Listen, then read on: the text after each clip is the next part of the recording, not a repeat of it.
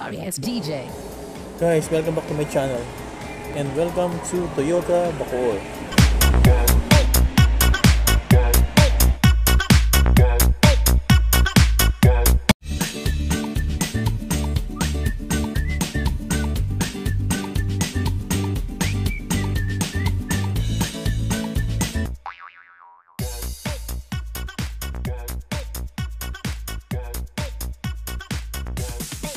Can get some.